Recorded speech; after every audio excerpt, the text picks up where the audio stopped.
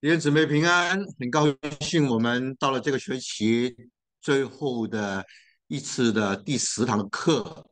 那么我们真的感恩啊，虽然这门课啊没有我想象的那么容易的预备啊，我一个礼拜差不多花三天时间啊，就是呃研究这些资料啊，然后打资料啊，做 PowerPoint 啊，啊，发现这个学期这门课。非常不容易，很辛苦，但是发现真的感谢神，很多过去呃不是很确定的一些经文啊，真的透过祷告预备，真的圣灵启示，就把那个解答啊就可以做出来。那么有些的解答甚至在所有的资料参考书找不到这样的答案，感谢神啊。那么啊，我就做祷告之前呢，我就先做个简单的报告啊。下学期记住啊，我们是十二月一号周五。改成四点钟啊，因为我们 fall back 动力时间少了一小时，那我们就让中国的童工呢，都也是配合，我们的 fall back 他们还是等于在中国的时间礼拜六啊早上八点钟啊，所以啊鼓励啊啊把这个资讯传出去啊，更多人可以来上课。那我们下学期是系统神学啊，内容会讲到人的堕落跟原罪啊，那么耶稣的神性、人性的重要性，包括初代教会。关于神性人性的异端啊，耶稣话语的呃教训，他的指示，耶稣是先知，既是君王，更重要，他是我们的救主啊，他的救赎。然后我们信徒信主所有的经历，都在这个救恩次序里面，一步一步应该经历到的。神的拣选，神话语的呼召，圣灵的重生归正。包括悔改与信，什么叫悔改？什么叫信？什么叫重生？什么叫称义？啊，怎么走重生的道路？什么叫信徒坚韧？啊，不会失落啊！你永远是天父的儿女，不会失落，就是坚韧 （perseverance）。然后到最后得荣耀啊！所以我们下学期很丰富的内容啊，所以希望啊，下学期鼓励每位同学啊都能够啊，透过 Zoom 啊，或是来到我们实体的课程啊来上课。那送的 ID 啊，就是你们常用的，还有密码。那么很感谢神呢，我就顺便报告一下。啊，有一位姐妹在中国北京的上了我们的课，才上了一堂。她说：“王院长，你的课对我很大造就，好像我眼睛开了。”结果她就说有感动，她就透过微信就奉献了啊，给神学院啊啊支持我们这个施工。所以我就想到，或许啊，我们线上的同学，假如你们也有同样的感动啊，要支持这个课程啊，来奉献，就可以用这个呃 PowerPoint 的二维码。或者加我微信，我就代转到学校。假如北美的弟兄姊妹啊，你就比较容易了，就直接上我们的网站 harvardseminary.org，然后里面有一个 donation 的，你就 click 进去啊，就透过 PayPal 啊奉献，或者说你喜欢用 Salad 啊也可以。那么在这里，感恩的十一月，Happy Thanksgiving 啊，感谢神啊，很快啊，还有两个礼拜就感恩节啊，所以我们真的带着个感恩的心啊，我们来仰望神。好，我们一同来做一个祷告。天父，我们同心来仰望你。主啊，在这岁末年终的时候，特别在这感恩的十一月，不但在感恩节的时候，我们数算你的恩典，感谢你的恩典。主啊，我们真的愿意在十一月，甚至在每一个月、每一天，我们都有一个赞美、感谢的心。主啊，我们真的感谢你，在这个世界动荡，瘟疫一波又一波。许多地方的战争，但是你保守我们十十分的平安，特别保守我们心里满有你的平安喜乐，满有你的同在。特别在这个学期，你借着圣经的话语来光照我们，开启我们很多难解又是那么重要的经文，成为我们生命的看见跟经历。主，你继续的率领我们。今天是第十堂课，最后一堂课。主，我们仰望圣灵大大的动工，引导我们进入你丰富的真理，让我们真的是高举你真理的旌旗，就能够得胜，带领我们与我们同在。祷告仰望，奉耶稣基督的名，阿门。好，那么今天我们主要就是特别处理，在我们读圣经的时候，无论是新约跟旧约。你读到一些经文，就是表面就是矛盾的啊。那么这些矛盾呢，不是真正的矛盾，所以我们叫做 seeming contradiction，表面的矛盾。我们表面读这段经文跟另外一段经文在文字上怎么是冲突的？不同的记载啊，这个表面的文矛盾不是真正的矛盾。看我们怎么去从原文跟文化的角度把它解开，就发现哦，原来两个表面矛盾的经文其实没有矛盾啊，因为圣经是神所默示的，不可能说一段经文跟另外一段经文有真实的矛盾啊。假如有真实的矛盾，就表示说，咦，不是圣灵默示了，可能是人的宗教经验呢，就是像这些新派神学他们所说的，圣经只是。犹太人的宗教经验啊，是初代教会的这些所谓的门徒的宗教经验，是人的一个写作啊，当然会有错。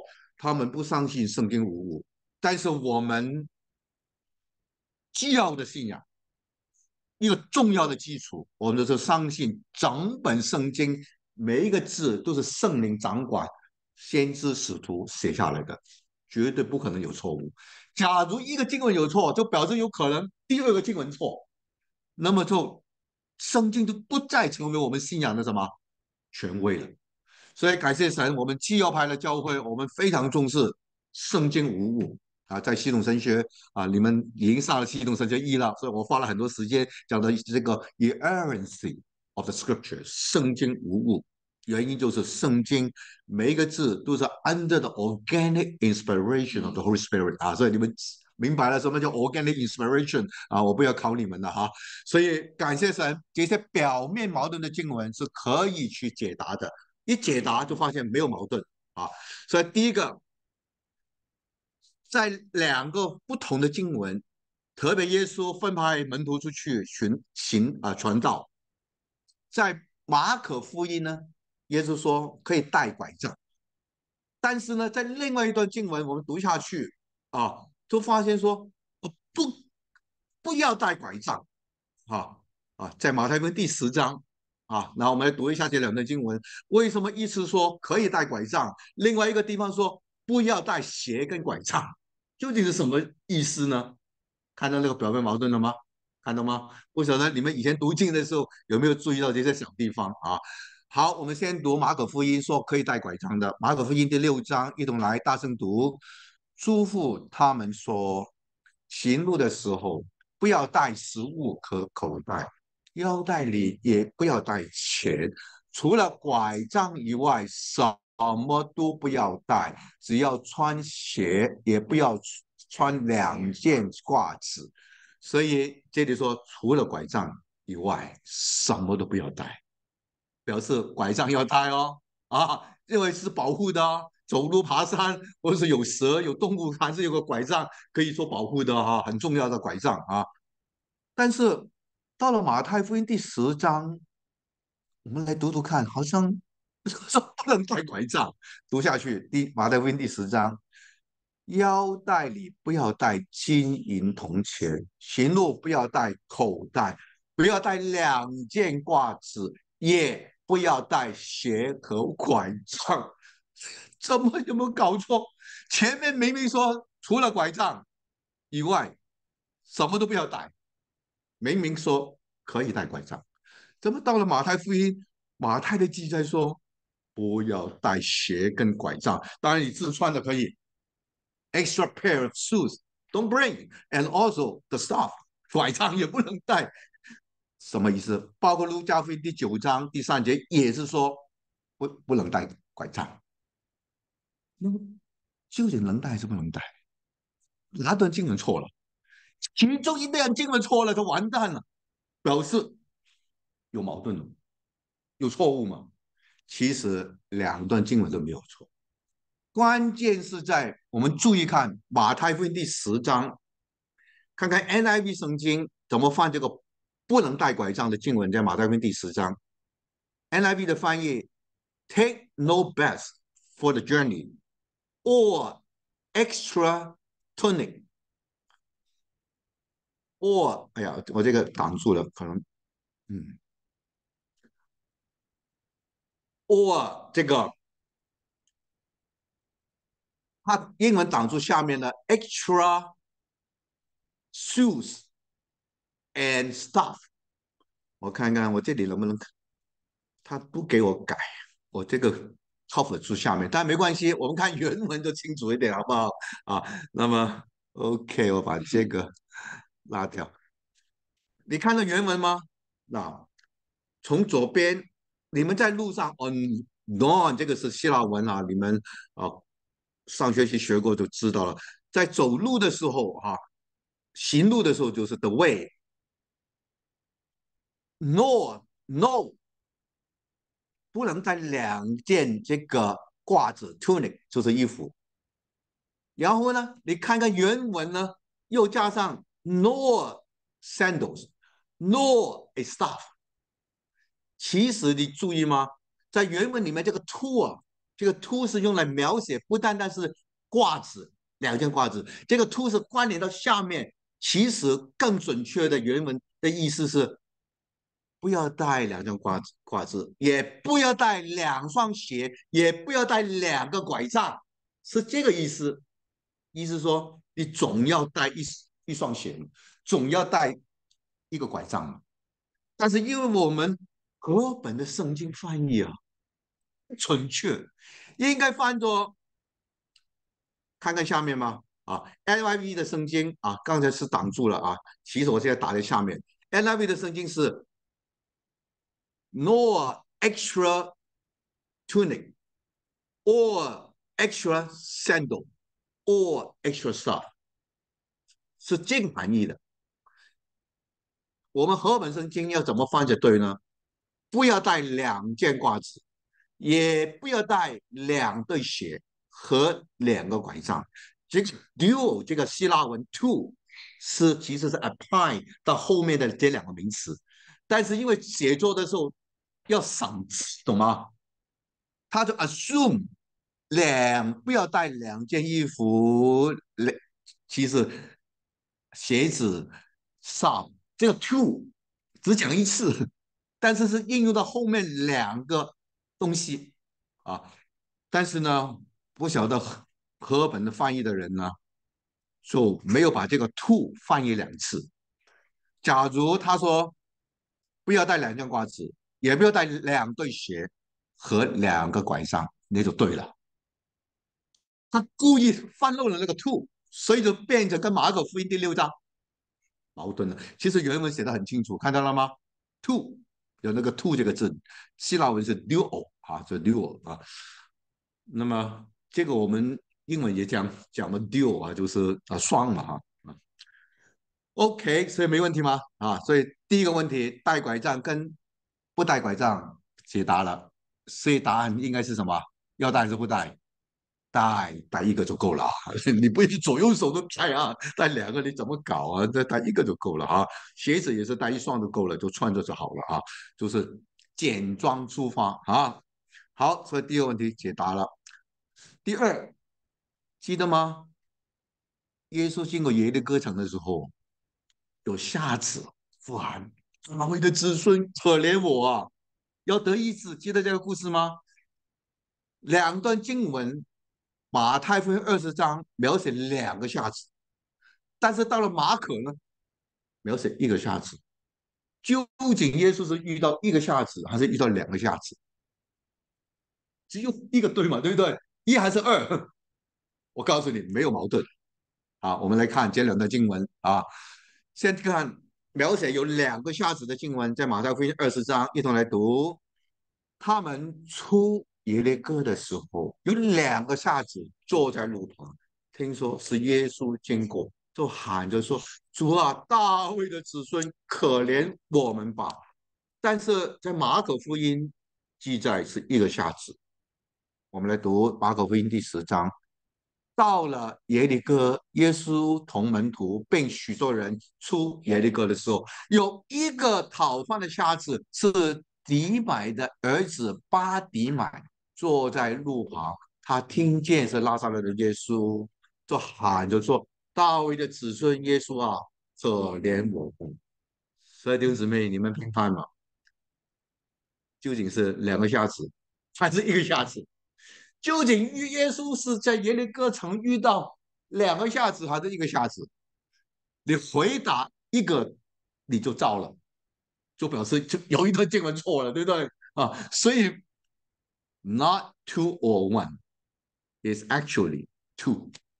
为什么呢？其实，在马可福音，按照马可的描写，是具体的聚焦在这个讨饭的瞎子，介绍他是底麦的儿子巴底麦。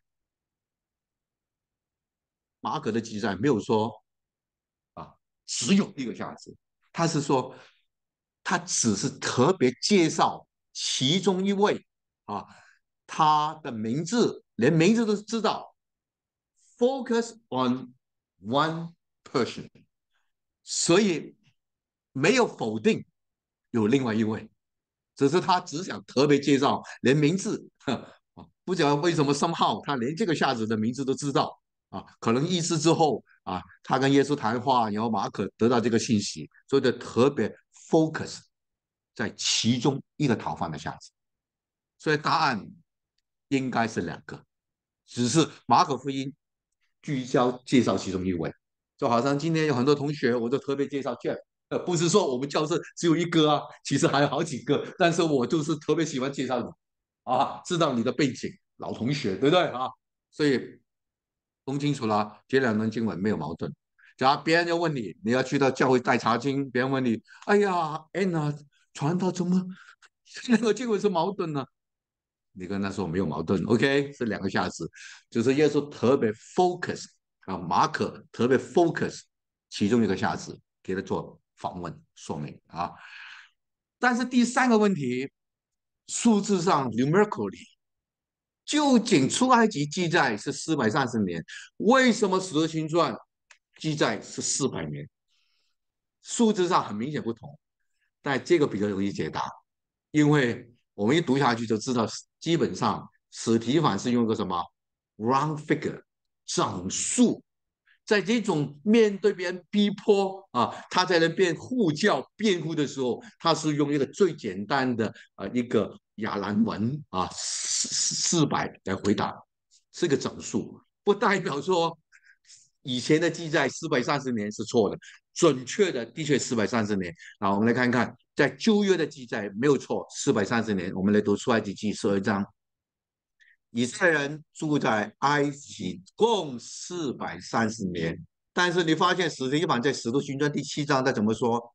他的后裔必寄居外邦，哪里的人要叫他们做奴仆，苦待他们四百年？不是记错，只是一个 round figure 的 concept，是个整数。的观念啊，所以我们常常在用数字的时候，别人问你，哎，这个车买多少钱呢？明明是四万一千块，你说，哎，买四万块，整数嘛，啊，就讲少了一千块啊啊！但是别再追问你具体呢，那你就说四万一了。但是好讲，哎，四万块差一千块嘛，所以也是一个整数的观念。假如是这住在以色列四百八十年的话，史蒂芬可能会回答什么？五百年。因为接近五百啊，这个整数的观念，所以不是这个错误啊，是一个我们今天也常常用这个 round figure 的这种 practice 啊。好，所以第三个表面的矛盾解决了啊，当然圣经里面还有很多啊，只是我挑几个比较大家熟的。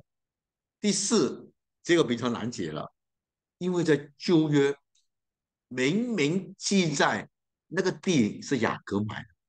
但是呢，在这个手的情况呢，史蒂凡说是亚伯拉罕买的，究竟是谁买这块地啊？做埋葬用？我们先看一下这个背景啊。我们先看新约啊啊，这个史蒂凡呢，他说是亚伯拉罕买这个地的，但是我们等下读创世纪，你发现是说雅各买的，这个就有真的花点心思来解答了哈。好，我们先读使徒行传第七章，看这里怎么说。于是雅各下了埃及，后来他和我们的祖宗都死在那里，又被带到世界，葬在亚伯拉罕在世界用银子从哈莫子孙买来的坟墓里，讲得清清楚楚哦。章鱼谁买的地啊？你说亚伯拉罕买哦，对不对？但是旧约我们知道旧约那个背景跟事实，你看看创世纪，很明显是雅各买的啊。所以我们看创世纪三十三章，一同来，雅各从巴旦兰亚兰回来的时候，平平安安的到了迦南地的事件。在城东支大帐篷，就用一百块银子向县的父亲哈莫的子孙买了支布支大帐篷的那块地。所以从时间的 chronology，我们也知道不可能是亚伯拉罕买的。然后创世纪三十三章讲的那么清楚，雅各去到世间，他买了这个地。所以你，这是史提反面对逼迫。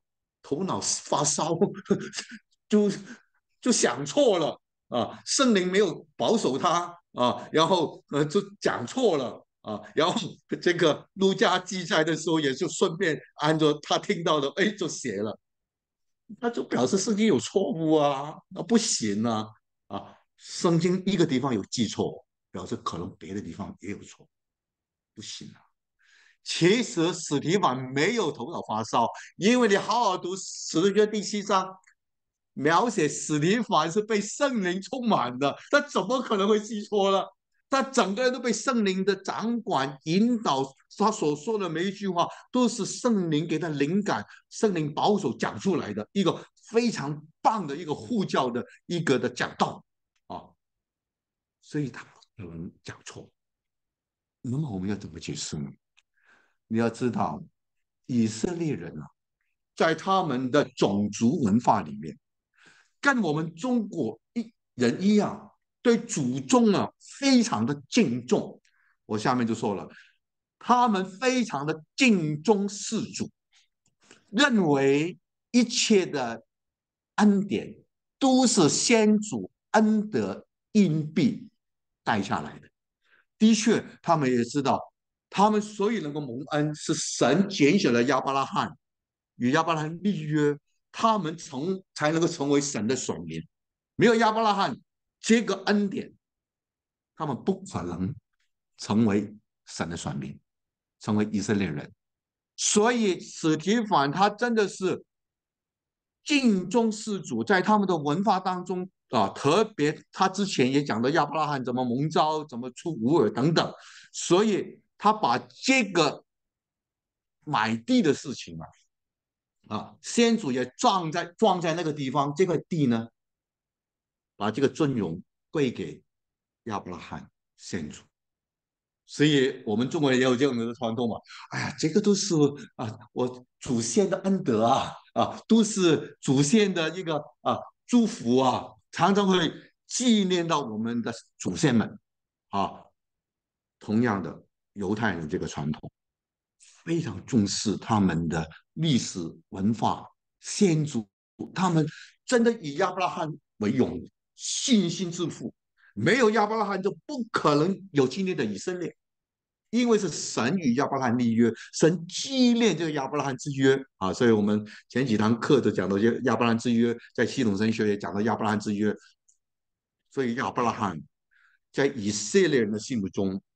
非常的宝贵，被尊崇的先祖，所以史蒂凡故意在这里让他们想到一切都是从亚伯拉罕的恩德而来，所以也把这块地的买到归给亚伯拉罕，做纪念亚伯拉罕的的这个啊功德的硬币啊，所以接着经文一定要从他们的这种背景。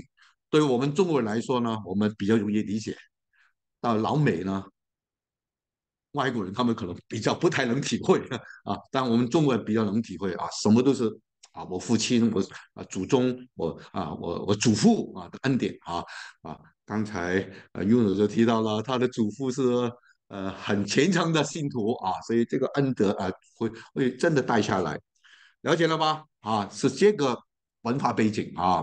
而不是史提凡连那么基本的旧约啊，谁买这块地都搞不清楚，不是，绝对不是。他们从小都熟读旧约圣经，你不可能记错的啊。这个是因为整个的护教啊，你看这段经文，实际上是先从亚伯拉罕一直讲下来的啊。好，所以这个问题啊，不是两段经文有矛盾啊，是史蒂凡特别尊崇亚伯拉罕啊。第四个经文那更有意思了啊啊，我们都很讨厌犹大，对不对？究竟犹大是吊死呢，还是身子扑倒，肚腹破裂而死？因为有两种记载哦，看到吗？我们先看第一种记载啊，这个吊死的问题，马太福音二十七章一同来读。犹大就把钱银丢在店里，出去什么吊死了。但是到了《死的寻传》第一章，怎么描写的？身子扑倒，肚腹崩裂，肠子都流出来。究竟犹大是怎么死的？怎么死的？怎么把这两个解释串联起来，而不是不同的两种死法？可以吗？其实，假如你是一个 camera man，很可惜当时我没有 camera，应该是肯定马太福音的记载没有错，犹大是上吊。假如你站在那边 take camera，真的是上吊，快断气可能，那个树枝它可能挣扎，很可能啊，对不对？这树枝断了，它掉下来嘛，掉下来也活不了。圣经怎么说啊？身子扑倒，肚腹崩裂，肠子都流出来。所以不是两种不同的死法，是同一个情景。但是呢，马太只描写前面，使徒行传描写后面。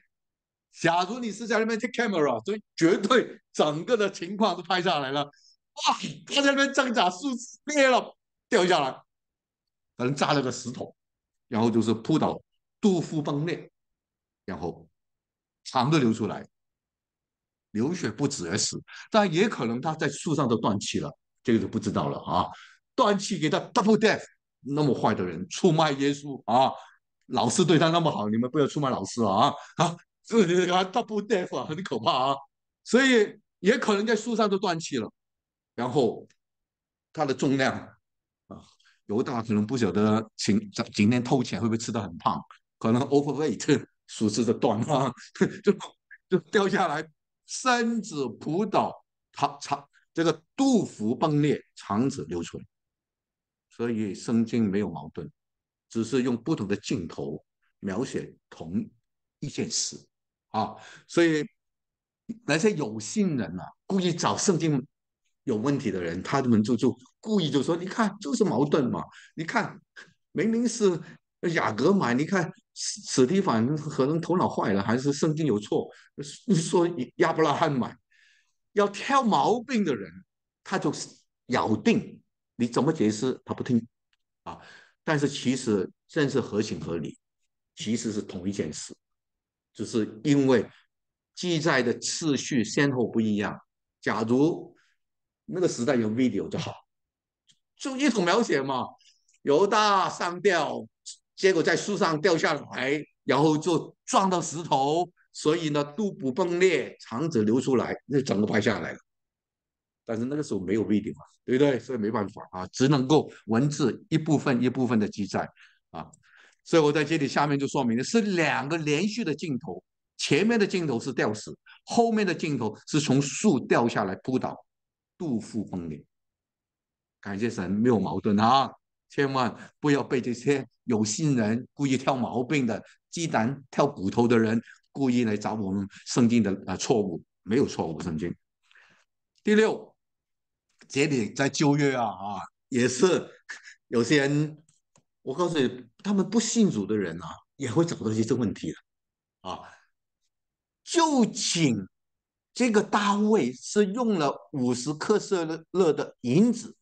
还是用了六百色克勒的金子买了那块要做祭坛的地啊！我们来读一下，因为两段经文有两个数字说买这块地究竟是用银子买还是用金子买？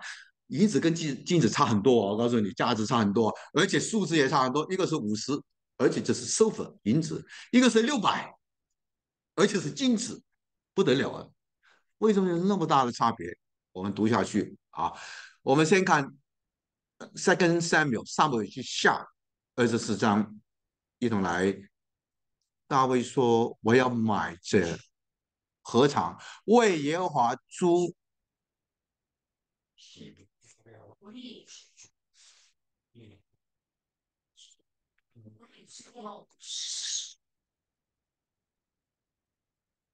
看到吗？大卫用了五十色克勒银子买了禾场，买禾场跟牛。那么 NIV 圣经呢？啊，也翻得很清楚哈。To buy your threshing floor, David answered, so I can build an offer to the Lord, that the plague, plague on the people may be stopped. But the king replied to Arnach, so David bought the threshing floor and the oxen and paid fifty shekels of silver for them. 啊，这是 NIV 的翻译。那么呢，到了 First Chronicle 历代志史二十一章 啊，我们先看英文的翻译，我觉得比较准确，然后再看看我们和文的翻译也不错啊。那么看看历代志上的 NIV 的圣经，David said to him, "Let me have the site of your threshing floor, so I can build an altar to the Lord, that the plague all the people may be stopped. Sell it to me at the full price. So David paid a lot much, sixty hundred，sorry，six hundred shekels of gold for the sale. 哇，很值钱啊，六百斤啊，克瑟里的金呢。那为什么差那么远？那么呢，我们河北的翻译呢？我觉得呢，哎呀，翻的比较准确。我们等一下再看原文啊，看希伯来文啊，看一看历代记上二十一章这个记载为什么会多那么多钱，里面有全坤。但是呢，我们和本这次翻的太棒了，太准确。你看看他怎么翻，和本是翻对了，比 NIV 圣经啊啊，或者说比其他的翻译我都觉得来的更清楚、更准确啊。看看我们和本。历代之上二十一章怎么翻的？一同来。大卫对阿尔南说：“你将这何尝三年之地卖给我，我必给你租价，我好在其上为耶和华租一座坛，使民间的瘟疫止住。”于是大卫为那块地平了六百颗色色克勒金子给南。你看看河本。加了一句话，不单是买禾场，还买什么？三年的地，所以才比较贵，懂了吧？之前那个记载其实只是初步股价，只买那个合场的地啊，这个 threshing Four 啊，没有提到旁边的三年地。但是原文圣经是什么意思呢？其实在这里呢。NIV 圣经呢翻的，也就是不算是跟我们和本圣经翻的还差一点啊。但是呢，其实他翻的也不错的，因为你看看原文是什么意思呢？啊，我不知道你们眼睛好不好啊？啊，因为它这个很长，我没办法放的很长。那它在原文里面呢，我们看那个红色的字啊，And said David to Omen, grant me the place. Of this threshing floor，啊，那么这个 threshing floor 在原文可以读吗？第一个是 vocal 学话，macom 可以读得到吗？这个 macom 这个字在原文对可以翻译作 place，也可以翻译作 standing place。意思是说，在这段经文呢，不是单单只讲到那个 threshing floor 那个合场，也讲到这个 standing place 啊。下面一个字才是 threshing for”，就是打鼓的地方。我们和本圣经翻的禾场，但是其实也可以翻作粮仓。而这个字呢，在希伯来文呢是用了一个 genitive case 啊，因为前面 macom 这个字呢，我们读希伯来文我们还没教到，它是用一个 construct state。所以其实更准确的希伯来文的翻译呢，应该 the standing place 我们英文圣经是放在 the standing place of the threshing floor，其实更准确的翻译呢，因为它是属于 genitive 所有格，可以放在 the standing place belonging 这个所有格嘛，归属嘛，belonging adjacent to the threshing floor，这个就是我们和本的翻译。不单单买那个禾场，连那个相连地，而且你想想看，原文这个 Macom 不是指这个地哦，是众人 standing 可以站在那边，可以一同围观看这个献祭的，所以不是一块小的地啊，所以才那么值钱，懂了吧？所以更准确的翻译，其实大卫。不单买那个打谷的地，那个禾场，也买三年可占之地。百姓，我这里打错了，百姓可站立观礼。所以，我们和本翻作何尝与相连之地是更准确的翻译，是真正配合希伯来文这个 standing place 同埋它的原来那个 genitive case。的原来的含义啊，所以感谢神，原文没有错的。的确，在历代记上所记载，这个金额不多，比原来的多了几百倍啊。一个是银子五十，一个是金子六百，差多少？没有记错。历代记上说明，不是单单买了个禾场，更是买。旁边可以众人站立观礼的 standing place 啊，所以感谢神，原文是多了这个 macom 这个字，你去查考它的 definition，不单是地 site，我们 I B 呢其实只放的 site 不够，假如放着 let me have the standing site，然后就大家就更更知道了哦，原来要众人站在那边观礼的一块地，当然就是比较值钱啦啊，所以要发到六百的 shekel of gold。你懂了吧？但是，假如不了解原文的，只是单单看 NIV 的翻译，很多就攻击圣经了。你看，怎么买同样的东西，记载错了？不可能记载错的啊！那么明显的错误，不可能写在圣经里面的，你懂吗？啊，差太多钱了，其实是买不同的东西啊，可以吗？了解了吧？这为什么鼓励同学希伯来文不能丢掉啊？虽然这个学期马上结束了，我现在一辈子还在用希伯来文，这也是我前几天在查的一些资料。这个很明显矛盾啊！原文是怎么说的呢？很多时候我们的翻译的圣经，无论是 NIV 也好，King James Version 也好，包括我和我们和本，常常很多地方不够准确的啊。所以 NIV 圣经要重翻的话，请他们再加 Standing Site。比较好一点啊，所以你不要以为啊美国人他们就很厉害，其实这个神的原文啊博大精深，有些地方他们在这里就没注意到了啊，所以就给人搞搞搞糊涂了，怎么差那么多钱呢？是圣经记错呢？No，sorry，这是要买双连地。We give 河本一个 credit，我们河本这里他们可能有注意到原文，可可以把相连地 adjacent site 这个字加上去。太棒了，give credit 啊，给这些算教士一百年前犯的这个课本，有些地方不错的啊，那有些地方我们也读到犯错的啊，记得吗？啊，我们就不说了啊，但是有些地方我们要 appreciate，OK，可以了解了吧？啊，假如别人问你这个问题，你就要他看清楚啊，这个 site 原文是 standing place 哈，standing site，好，有没有问题啊？所以我们一定要对神的话有信心。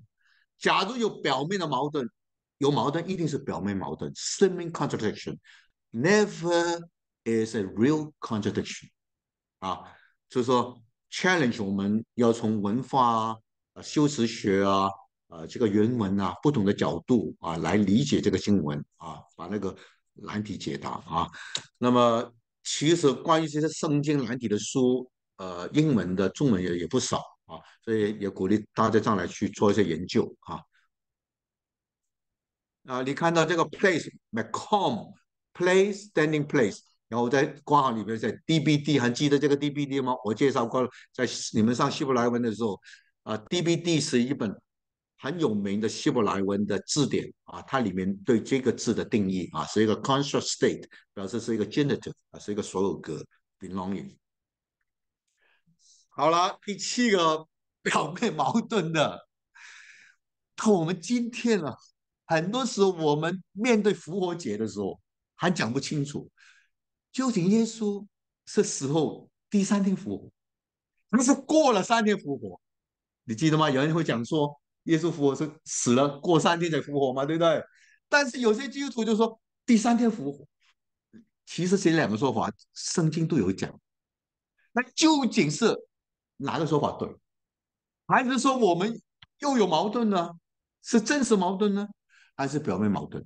所以我们看看原文，看看这两个记载。好，我们先看啊，这个马太福音啊比较多讲第三天复活啊。我们来读一下马太福音十六章，一同来。耶稣上耶路撒冷去，受长老、祭司长。文士，并且被杀第三天复活，被杀死后第三天复活啊！同样的信息在马太福音十七章又说了，他们一同来，他们要杀他，第三天他要复活。再读马太二十章，人子要被交给祭司长和文士。他们要定他死罪，又交给外邦人将他戏弄、鞭打，钉在石架上。第三日他要复活。说在原文也很清楚，你看到那个红字吗？To be raised the third day on the third day，开就是 and，所以原文一直写的很清楚，第三天复活 on the third day 啊。但是呢，你去读马可福音就麻烦了，马可福音呢？说过了第三天啊，那就两个就有误差了哈。假如照着马太福音的描写，我们会理解的。耶稣是礼拜五下午三点断气的，但是按照犹太人的算法，到六点钟就是 the end of the day。When sunset, that is the end of the day。所以从耶稣三点钟下午死。到六点钟，那个算一天了，了解了吗？然后礼拜六又是一天了，到礼拜天的早上，第三天，对的。所以马太福音讲第三天复活是对的。假如过了第三天就不对了，就礼拜一了，就你懂了吧？不能过第三天呢。那究竟马可所说的过第三天是什么意思呢？我告诉你，是我们和本犯错了，原文没有这个含义。啊，我们来看原文，先看中文圣经先啊。所以，假如你不了解原文，你就读了两个版本啊。因为的确，按照我们和本圣经马可福音说过第三天的才复活的。我们来读一下马可福音第八章，一同来。人子必须受许多的苦，被长老、祭司长和文士弃绝，并且被杀，过三天复活。究竟是第三天还是过第三天？这个是很明显的不同啊，对不对？那究竟马可为什么这样说？是马可说错呢，还是我们的译本和本犯错了？我告诉你，这是译本犯错。大家我们来看原文哈，再读下去，马可福音第九章又是这样说：于是教训门徒说，人的将要被交在人手。被杀以后，过三天他要复活啊！我们和本呢又在这里翻过三天啊，然后在这里补充一下，在刚才马可福音第八章三十一节呢，为什么我们中文圣经放那个过，把这个过字放出去？因为呢，在原文里面呢，你看看原文怎么写的，to rise after three days and 那的确呢，英文圣经。也照原文把这个 after 放放过去，所以我们和本是照这个 King James Version 放的，把这个 after 过之后三天之后复活，就是因为原文有 matter 这个字，看到吗？matter 这个字下面的红色的字就是 after 啊，还记得我们上学期学希腊文吗？这个 matter 是，他把它放成 after，但是 matter 这个字啊，其实有。很多不同的含义的。好，我们等一下再说哈。马可福音第九章三十一节，其实在原文没有 matter 这个字的，但是马可福音我们和本的方法，可能他觉得有 consistent，因为第八章有 “after”，“after” 过这个字，所以呢，他就顺理成章也把这个第九章翻成过三天复活，其实原文就是第三天复活，没有 “matter” 这个字的。啊，你们回去查考一下啊，我没有把原文打出来啊。到了马可福音第十章，我们再读，他们要戏弄他，吐唾沫在他脸上，便拿他杀害他。过了三天，他要复活。我告诉你，我们和本这里也是是配合前面第八章的，因为在原文也没有 matter after 这个字，因为只有在马可福音第八章三十一节有出现 after matter 这个字，到了第九章，到了第十章。描写都是第三天复活，on the third day，on the third day，没有写 after the third day，没有 after 这个字的。但是我们和合本为了配合前面第八章，故意把这个过这个字加进去。原文其实没有 after 这个词，没有 matter 啊。我们来说明。然后呢，马太福音二十七章也是说过三天哈。二十七章我们来读一下。我们记得那诱惑人的还活着的时候，曾说三天后我要复活。那这里有 matter 啊，但是呢，翻译希腊文的人把这个 matter 放在 after，其实是犯错的。matter 这个字，我们看看希腊文的字典给我们不同的定义。原来 matter 这个字啊，陈雷学了希腊文这个字还会读吧？matter 啊。这个 matter 这个字，对，一般可以放在 after，就是我们 NIV 圣经 King James Version 的翻译。但是呢，其实这个字你去查稿，有别的用法的，可以放在 amid，在中间，in the midst of。假如翻译的人用这个原文这个含义，在第三天的中间。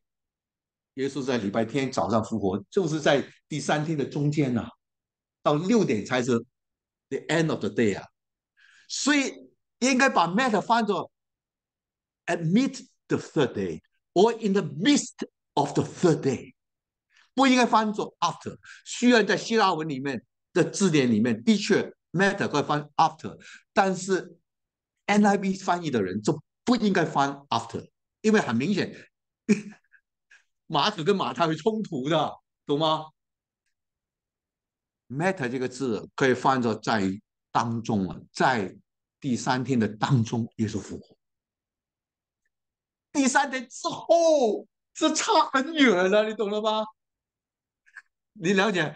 这变成是要礼拜一了啊，守主日都改成礼拜一了，不对的，而且经文也矛盾，应该翻作 in the midst of or amid。其实你去看看约翰一书第四章，这个希腊字 matter 也在这里出现，但是这里就放的很准啊，就是按照上下文就放 among amidst。我们来读一下，这样爱在我们里面，其实原来的意思是 among us 得以完全。你看看 NIV 这里配合上下文呢，它翻对的。In this way, love is made complete among 原文是 matter 在我们中间，in the midst of us among us。马可福音第十章也讲到啊，也是应许门徒啊，你们今生要受逼迫，但是来世的永生、今生的百倍等等的应许啊，整个经文我都不不不不扣出来，只把马可福音第十章三十节，也是讲到你们要受逼迫，这个要受逼迫，其实原文呢就是用。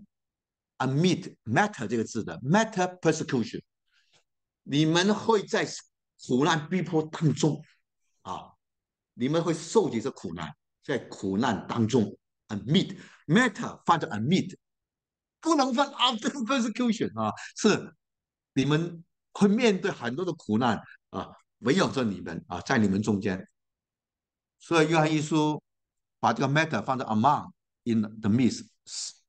爱在你们的当中，然后我们英文放在 among，然后要受逼迫，这个 matter persecution 是放在 amid，你们会面对很多的苦难，在苦难当中都是放 amid。所以马可福音第八章那个过三天这个过字啊，matter 应该翻作什么？在第三天，amid the third day。所以对不起，原文应该 matter 这个字翻作 amid in the midst of，不应该放在 after。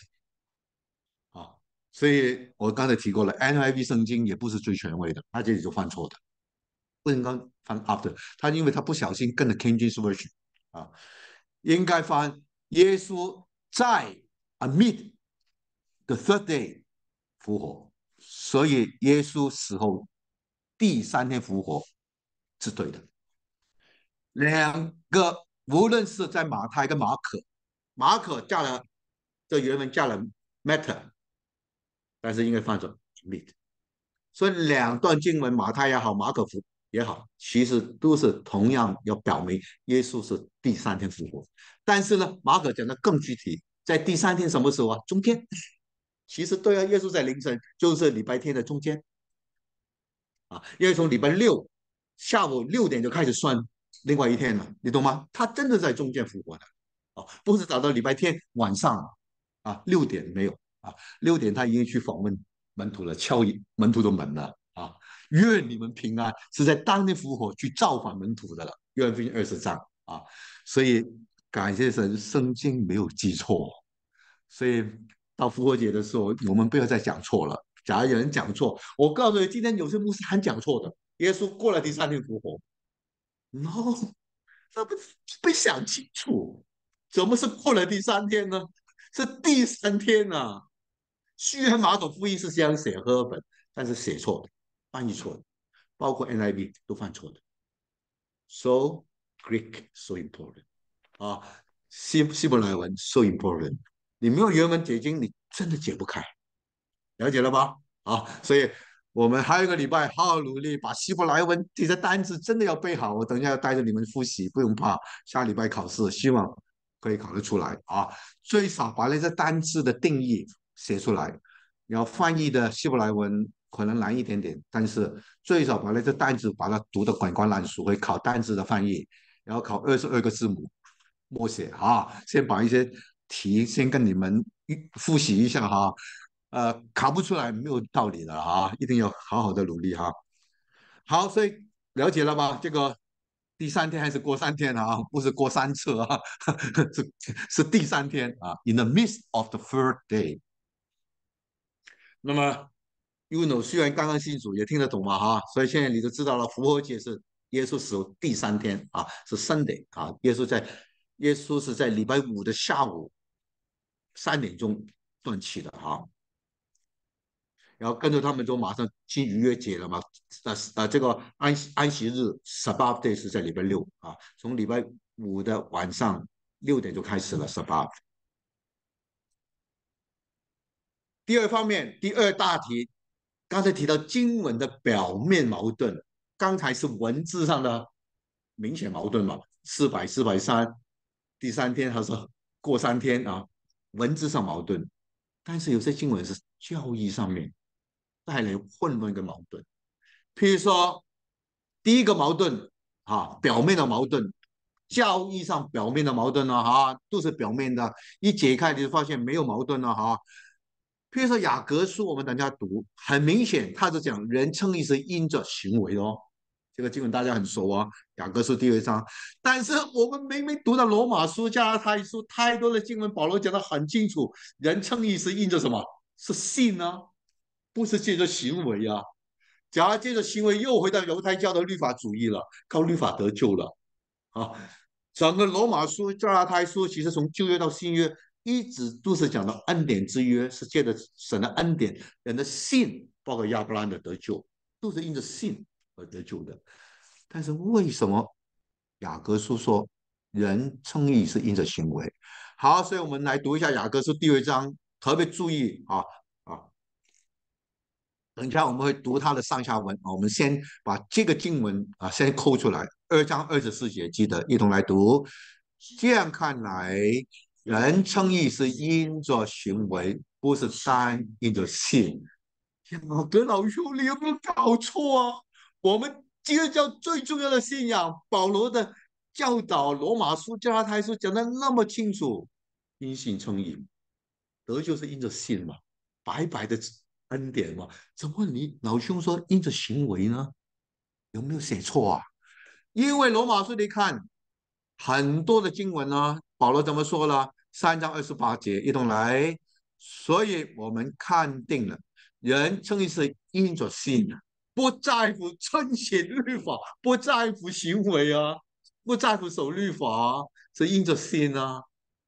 再读下去，罗马书第五章第一节，我们既因信称义，就借着我们的主耶稣基督得与神相合，讲得更清楚了，不是因着行为，是因着信，因信称义。然后保罗在罗马书第三章二十四节、第四章十一节、第十章第十节一直重复“因信称义，因信称义”。那为什么雅各 James 老兄居然说因着行为称义？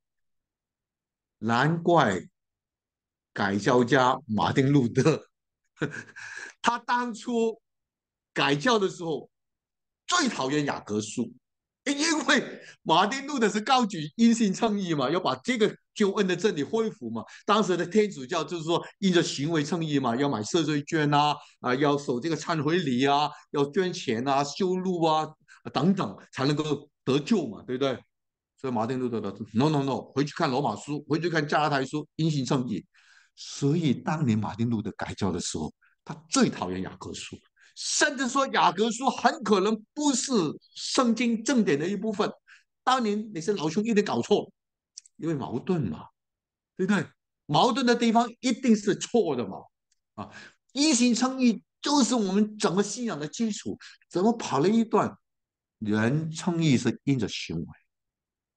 幸好到马丁路德晚年的时候，他看懂了这段经，他也看到行为的重要。人不是靠行为得救，但是行为真的很重要。他后来看懂了，所以才接纳雅各书是新约的正典的一部分。否则，我们就叫 Protestant Church，是从马丁路德出来，可能路德中的路德教会就少了一卷圣经了。但幸好，后来马丁路德接纳这这卷经文啊，这卷啊这个雅各书，究竟雅各有没有讲错，还是我们体会错他的意思？所以，让我们看看雅各书第二章的前下文，整个的 context 上下文，我们就搞懂究竟雅各在讲什么啊！不要只是看表面，断章取义。雅各有它的含义的。一同来读第二章十四节：我的弟兄们呐，有人说自己有信心，却没有行为，有什么益处呢？这信心能救他吗？这样信心若没有行为，就是死的。有人说：“你有信心，我有行为。你将你没有行为的信心指给我看，我便借助我的行为将我的信心指给你看。”虚否的人呐，你愿意知道没有行为的信心是死的吗？可见信心与他的行为并行。并且信心因着行为才得成全啊，然后啊，才到了二十四节哦。雅各讲这样看来，人称义是因着行为，不是单因着信。所以要注意了，雅各讲二章二十四节之前，你看看他之前从十四节到二十二节在讲一件什么事情？他在讨论。这个信心、信仰真假的问题，对教会来了很多人。是否真的每一个都是真实的信耶稣的呢？真的是重生得救的呢？有真实的信心，一定会有生命行为的表现。假如你说我受洗了，我信主了，但是生命没有改变，十年不变，五十年不变，那你这个信心可能是假的。是真的信主呢？还是表面信主呢？还是因为来教会找个女朋友才信主呢？还是为来教会做老鼠会我才来信主呢？真的，今天很多人动机不单纯的啊，不是给我受洗了。我就可以跟那个姐妹说我是基督徒了，神说就是你了，你要嫁给我了，把姐妹骗走。所以以后我们做传道要小心，好好辅导呃，这些弟兄呢，所谓弟兄啊，说有圣旨，神跟他说话，你要小心，常常都是假先知来的啊。所以雅各当年就在处理这个真假问题，真的信心还是假的信心？真的信心，就像耶稣所说的，从果子认出树来。假如你说我信了，没有任何圣的改变，也不读圣经，也不祷告，也不聚会啊，也没有改变坏习惯啊，骂人还是骂人，打老婆还是打老婆，骗人还是骗人，那你这个是真的信的吗？亚各说 no，你的信心需要被证明出来的。他在讨论真假信心，活的信心还是死的信心？没有行为的是假的。是死的信心，所以他讲了两遍，没有行为的信心是什么？是死的。所以我们看看下面这个箭头，我们一同来读。真正雅各要表达的是这个意思，这个箭头一同来读。雅各在说明真假信心的问题。真的信心必有生命行为的活出，信心与行为并行。假信心、死的信心。不会活出生命行为，所以人称义是因着行为，是在讲称义的证明，得救信心的证明，不是讲称义的方法跟原则。方法跟原则的确是罗马书所说的因信称义，不是讲称义得救的方法，是讲你真的称义得救吗？你的信心真的是真的吗？因着行为的证明，所以其实它这个原文的含义，人称义的证明啊，它的含义证明你真的称义，你的信心是真的。人称义的证明是因着什么？果子行为，他不是讲方法跟原则。假如雅各是讲人称义的方法跟原则，他就是异端了。他不是讲方法跟证明啊，方法跟原则，他是讲证明。怎么证明你是真的信的耶稣呢？怎么知道你的信心是真的呢？怎么知道你真的因信称义得救呢？一个得救的人，称义的人的证明，因着什么？这行为啊，有果子，对不对啊？所以感谢神啊，雅各跟保罗没有矛盾啊。雅各书跟罗马书跟加拉太书没有在打仗啊，没有矛盾啊，讲不同的事情，所以一定要从雅各书这个第二章二十四节的上文看看老雅各在讲什么问题。他在讨论一个真假信仰、真假信心的问题：真的得救呢？真的称义呢？还是没有称义得救呢？所以他是讲证明，感人啊，不是讲方法。搞清楚哈，所以假如再有弟兄姊妹问你这个问题，你就让他好好注意，叫他读第二章十四节到二十二节这个上文。雅各是讨论真假信心的问题，是活的信心，有生命的信心，还是死的信心？死的信心没有行为的啊，行为没有改变啊。香港说五十年不变啊，其实骗人，早都变了。现在啊，一国一制的，早都变了啊。OK，我们就不谈这些。但是要了解这个经文没有矛盾哈，所以我刚才引到耶稣所讲的，耶稣讲的最有权威了哈。我们来看看耶稣怎么说。其实耶稣讲的跟雅各讲的一模一样啊。马太福音第七章二十节，耶稣怎么说？所以凭着他们的果子就可以认出他们来，看到吗？怎么认出他是真的有生命，是好树还是坏树，是得救的还是没有得救？从果子认得出来啊，因为耶稣讲的很清楚，在教会里面呢，有很多是假的，所以耶稣在马太福音十三章都描写到有麦子跟稗子。麦子是什么？我们和本翻麦子，没人懂得懂啊。麦子跟稗子，麦子是 wheat，会长出麦穗的，有生命的。那么稗子原文是 wheat 野草，不会结果的哈。你家后院很多野草，我们这里整天搞野草，搞得烦死了。野草没用的哈。啊，我们来读读啊，耶稣讲的很清楚，在神的国度里面会有真有假的，有麦子是有生命的，是得救的，但也有假的基督混在当中。耶稣描写他们是 wheat 是稗子啊。我们来读一次这个马太福音十三章，一同来，耶稣。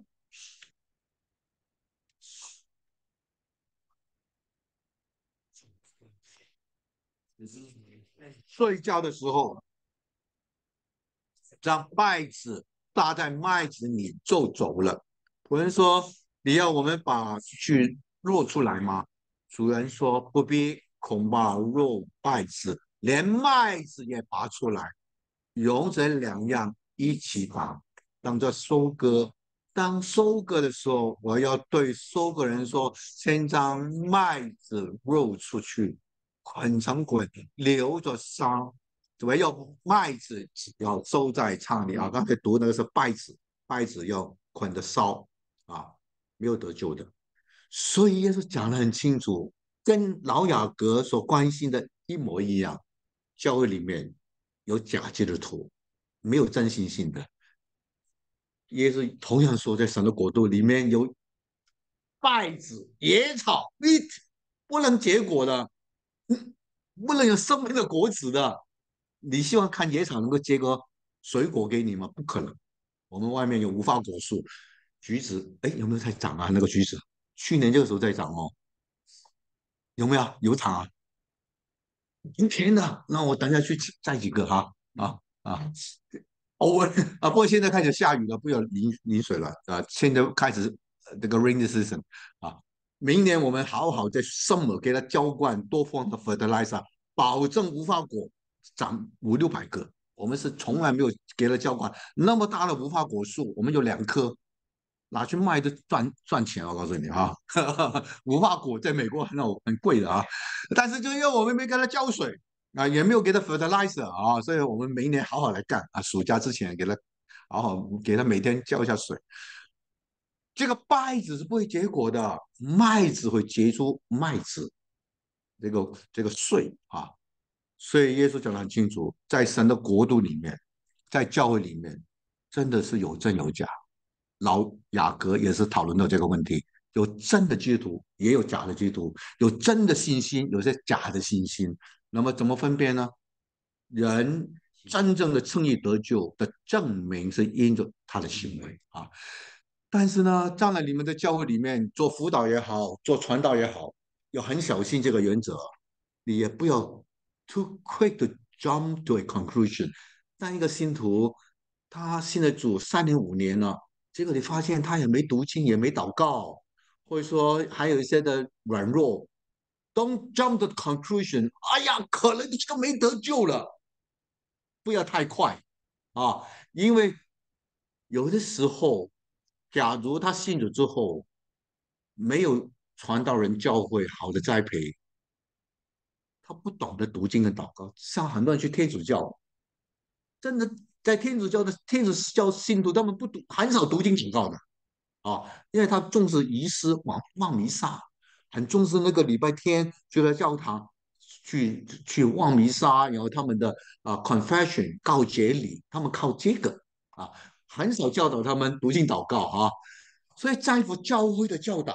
假如教会不重视读经祷告，也不教导这个脱去救人、创伤信人，不重视教导成圣的真理啊，要对付罪啊，甚至现在我提到了这个平乐社就是 Prince 在呃这个台湾也有啊，在大陆也好啊，就是说你犯了罪不需要认罪悔改的，那就更糟糕了。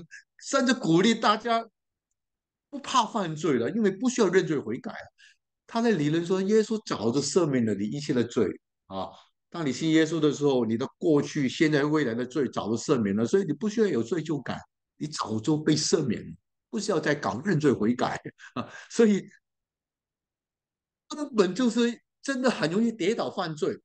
所以我的意思是说，很多时候弟兄姊妹生命没有改变，是教会跟传道人。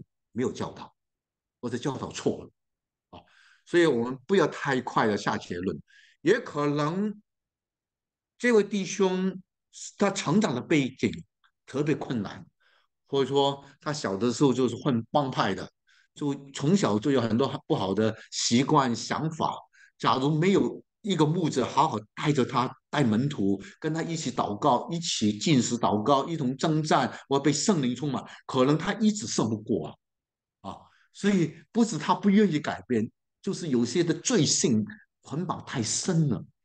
需要，甚至有些教会懂得医治释放啊，做 inner healing 等等啊，所以有些人有些的罪好像一直胜不过，不一定是他没有得救，可能他真的得救了，但是没有得到很好的带领、帮助、圣经真理的浇灌、圣灵的充满啊、牧者的帮助啊，跟他一起祷告。甚至一同帮他做 inner healing 啊，做 counseling，能够让他把这个罪啊能够摆脱啊。所以有些时候是我们的教会牧师的责任，也不一定他 没有得救啊啊。所以我们要很小心来分辨。所以为什么在哥林多前书十二章讲到有一个恩赐叫分辨诸灵啊？有些牧师真的有这个话恩赐的。虽然这个弟兄好像没什么改变，但有些牧师给他一祷告，我说一看他就知道灵里神就跟他说话，他是有得救，或是没得救。我以前我在教会里面有个童工啊啊，我提一下曾牧师，他有一个恩赐，就是真的是分辨诸灵。他跟我说，一个新人来到他教会，他说很奇妙，神会让他闻到香味或者臭味，香味呢，他就是知道他得救了。这个是绝对是真的救度，但是他灵里闻到臭味了，他就要跟着传福音。虽然他说他已经受洗了，也教会去五年啊七年，但他里面真的有分辨助灵的恩赐，神就给他闻到香味跟臭味啊。那我没有这个恩赐，但是神给我另外一个恩赐，就在灵里面跟他谈话，我灵里面就会分辨到他信仰得救清不清楚。那我觉得他不清楚，我就帮助他，我不会论断他，我就。帮助他好好读约翰福音第一章十二节，帮助他带呃接待耶稣，或者读福音桥，或者施定律，帮助他，甚至一次两次用不同的经文来帮助他，让他更有得救的确据，清楚从中得救啊。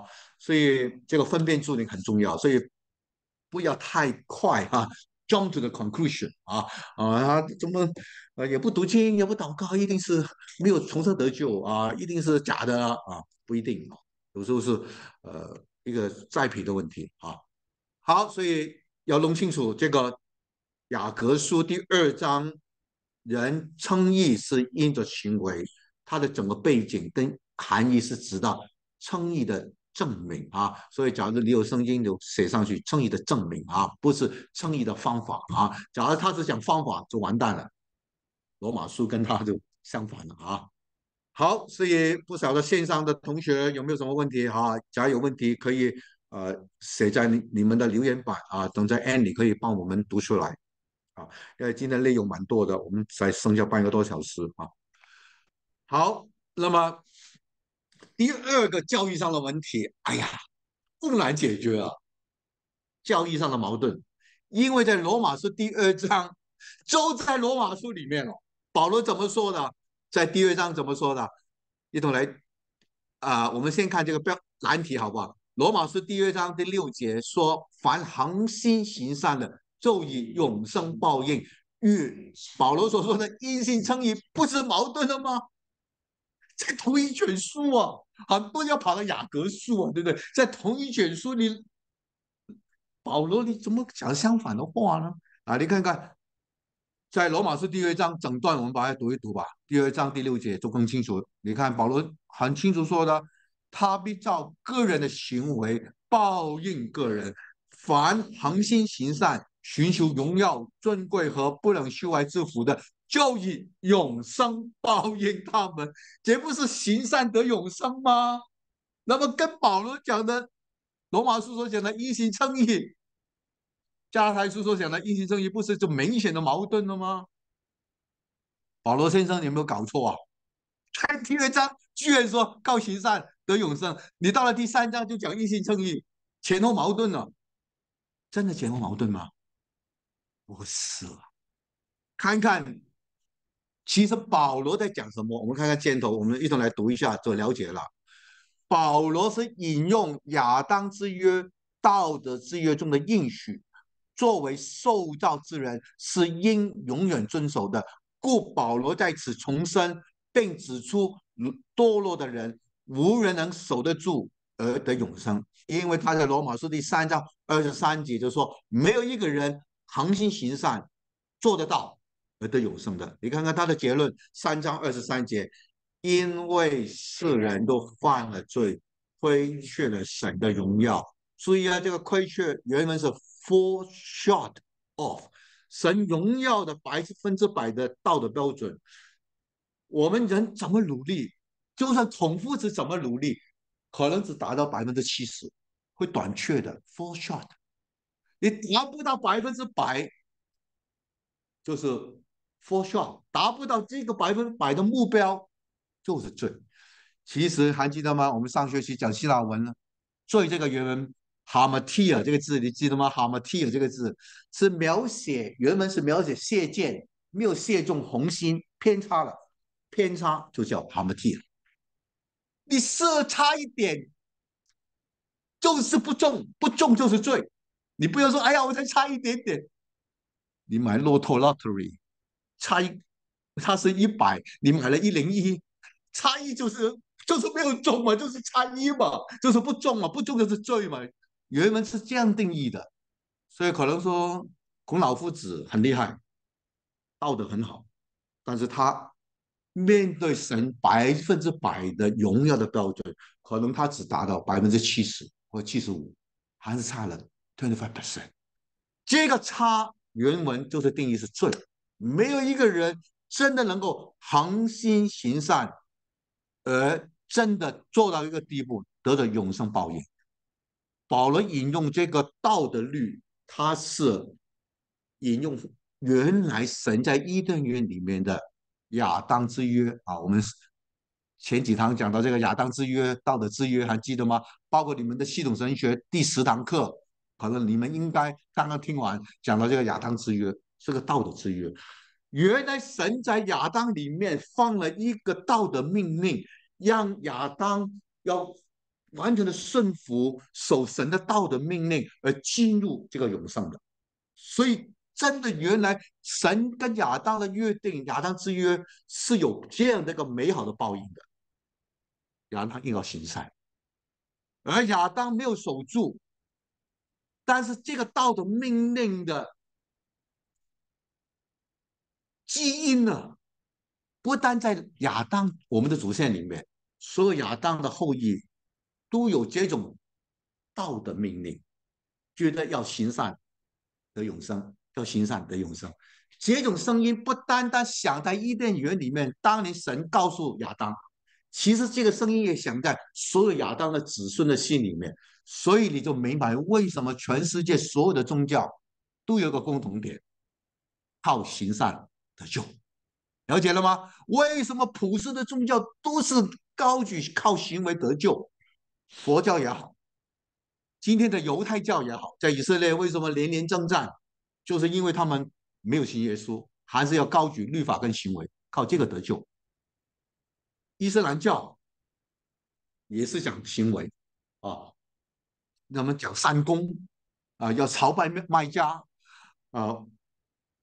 我以前在普林斯顿。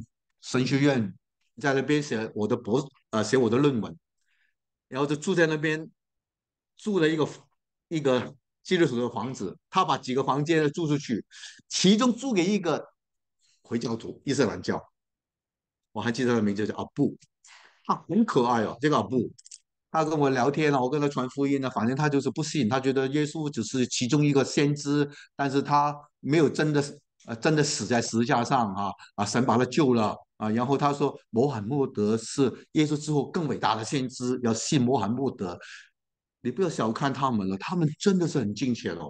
他每天下班，他就一定呢，我就看到他拿着那个小地毯，就转这个方向，就跪下来啊，就这么祷告。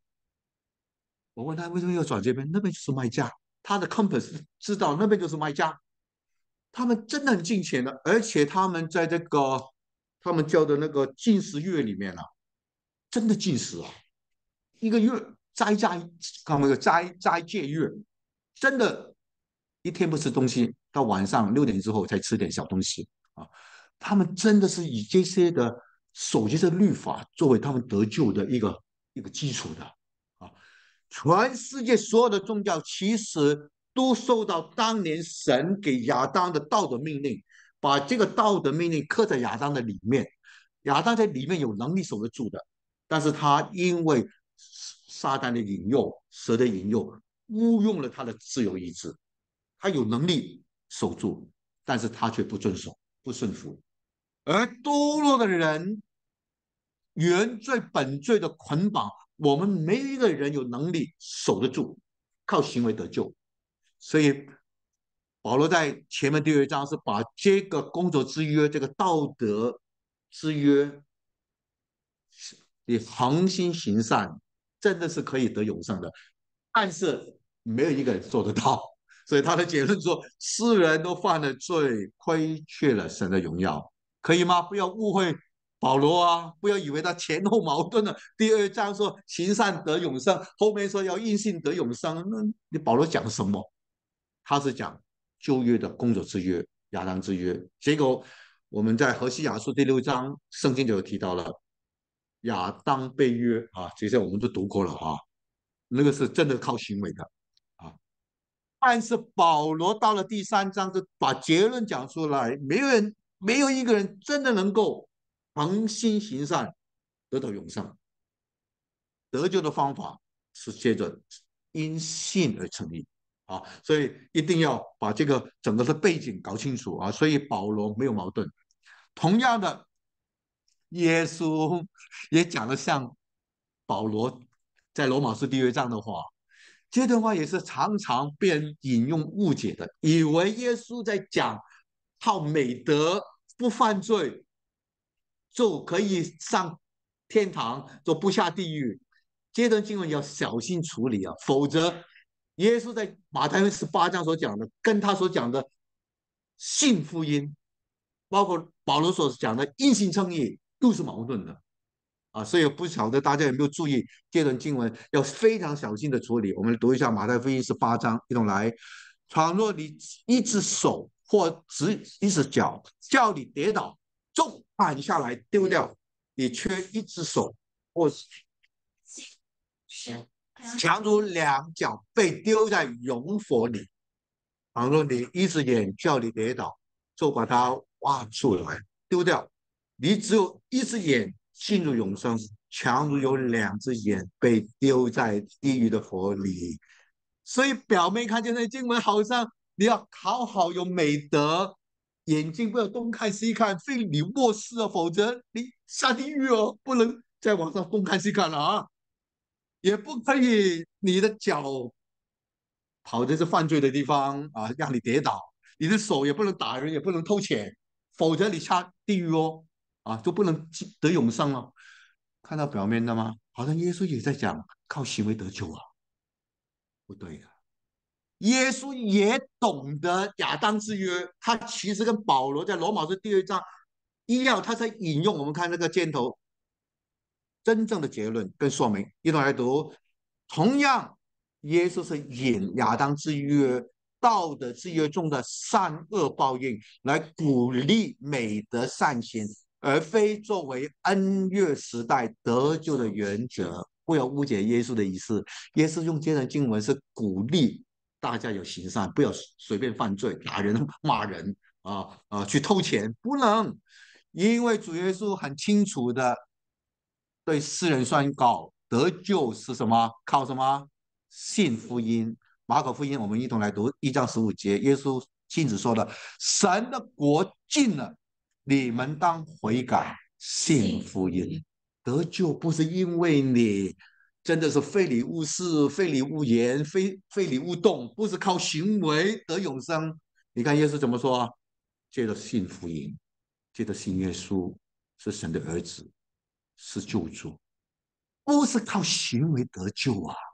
啊，但是耶稣引用讲了这段经文，是引用了原来的亚当工作道德制约的命令，来鼓励当时这些败坏的人要尽量去行善啊。但是当然没有一个人真的是百分之百的行善而得永生，但是耶稣还是要鼓励啊。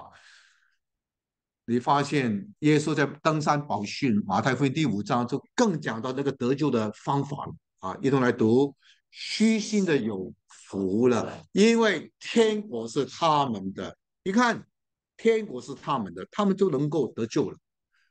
得救的方法不是砍手砍脚啊，那个只是鼓励他们呐。真正得救的方法，耶稣说要做一个什么虚心的人。究竟什么是虚心呢？很多人解这段经文有解错了，我们一同来读：虚心不是指谦虚，是灵里贫穷 （poor in spirit），就是自认道德贫穷，不再靠道德行为得救，而靠信主、信福音。天国是他们的。耶稣在整个登山宝训的背后，其实是表达这个含义。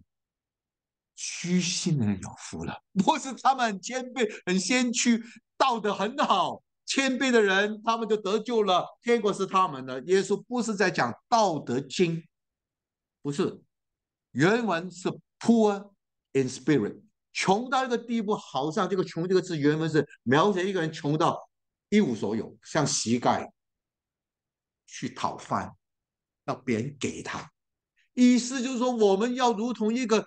道德的膝盖，真的看到我道德破产，一无三行，一无好处。我能够有的，要神给我，要耶稣给我，来领受耶稣基督的救恩跟赦免。这样的人得救了，是这个意思，是不靠自己的意思啊。原文这个 poor in spirit 啊，而且看到自己 so poor in my morality，so poor in my conduct。I cannot rely on my conduct and my good behavior to be saved，是这个意思啊。所以，同样的，耶稣不是高举靠道德得救，耶稣高举的是信福音，高举的你要看到你没有办法真的能够努力的做得出来，你需要做，但是你要看到其实你做的不好，做的不够，看到自己的缺乏。来依靠神的恩典跟赦免，是这个意思。好，所以千万不要解错。这里我们和本圣经真的翻的不好，我也呃忘了去看看新译本，新译本怎么翻了？还是他又是翻虚心的人啊？那就不对了，应该翻邻里贫穷就比较好。那么啊，手机应该都有新译本，怎么翻？好，没关系，我们先下一个。我们生时间很紧凑，好。那么第三个教育上的矛盾，就是得救的人会随流失去失落吗？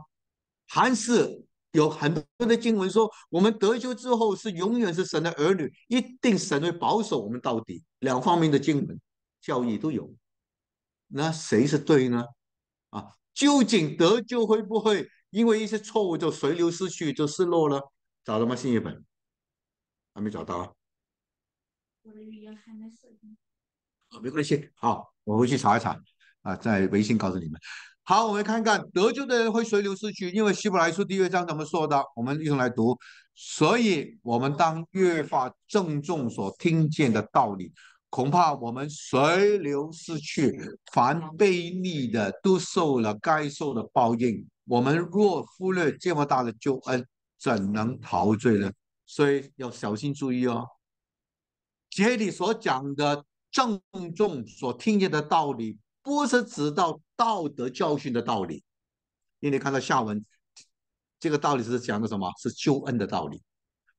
假如他们略了这个救恩啊的真理跟道理，就会随流失去，不依靠这个救恩，随流失去就不得救。你要用别的方法。你要信洛西底主义，你要信犹太教，不重视这个救恩的这个真理跟道理，当然随流失落，是指的这个啊。所以我们读一下这个箭头下面啊的说明，一同来。不是信徒不听道理教训，犯罪跌倒，便随流失去失落不得救，乃是作者对会众提醒，特别其中有不清楚救恩的人，要靠献祭来赎罪的，要郑重所听见的道理救恩真理，否则随流失去。所以希伯来书的作者在第一章是讲这个问题，而不要对号入座。哎呀，这个听见这些道理。啊啊，结果这假如不郑重啊，不好遵守，哎，就随流失去，就不得救了，不是这个意思啊。是提醒当时会众不要再靠献祭赎罪了，要好好郑重这个救恩的真理啊，否则就会随流失落了。再看马太福音二十四章，有时候我们读的这个经文也是很害怕，好像没有人来到底就不得救了啊。又要搞行为了啊？究竟耶稣在马太福音二十四章讲这个忍耐到底才得救是什么意思？我们读下去，唯有忍耐到底的必然得救。这天国的福音要传遍天下，对万民做见证，然后末期才来到。你们看见行毁坏可真的站在圣地，那时在犹太的。应当跑到山上，在房上着，不要下来拿家里的东西。你们应当祈求，叫你们逃走的时候不遇见冬天或是安息日。所以看到整个下文了吗？这个经文是耶稣针对谁说的？不是针对你跟我说的。你看到下文，不是针对普世的信徒说的。